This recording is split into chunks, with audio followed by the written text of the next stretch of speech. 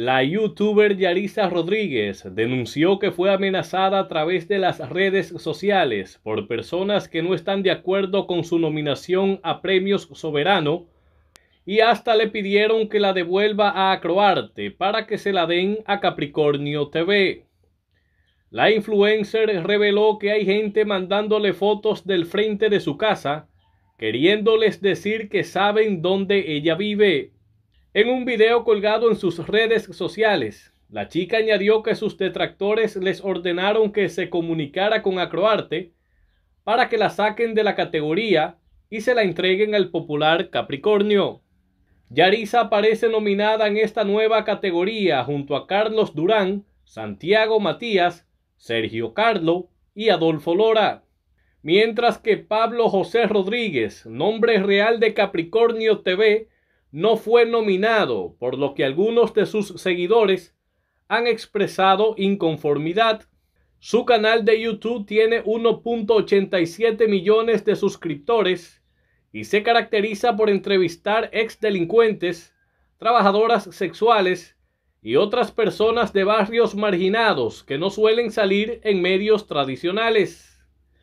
De su lado, Yarisa Rodríguez advirtió que si las amenazas continúan, tomará cartas en el asunto y acudirá a la justicia.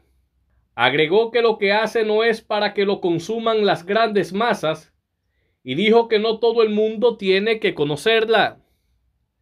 En ese orden, la joven explicó que le duele que desde que recibió la nominación, tiene sus DM llenos de gente amenazándola. La santiaguera se llenó de valentía y defendió su candidatura al soberano al expresar que siente que merece ese galardón y hasta considera que es digna de ganarlo. Aclaró que con eso no quiere decir que sea mejor que los demás, sino que cree que cada uno de ellos también merece ganar, pero según ella, todos poseen una historia y que porque alguien no conozca la suya, no la hace menos.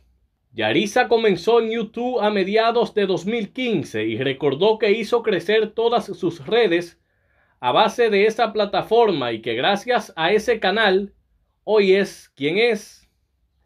Destacó que las redes fueron un mundo nuevo para ella y que sin cuñas, padrinos y sin conocer gente famosa, logró trascender a base de sacrificio.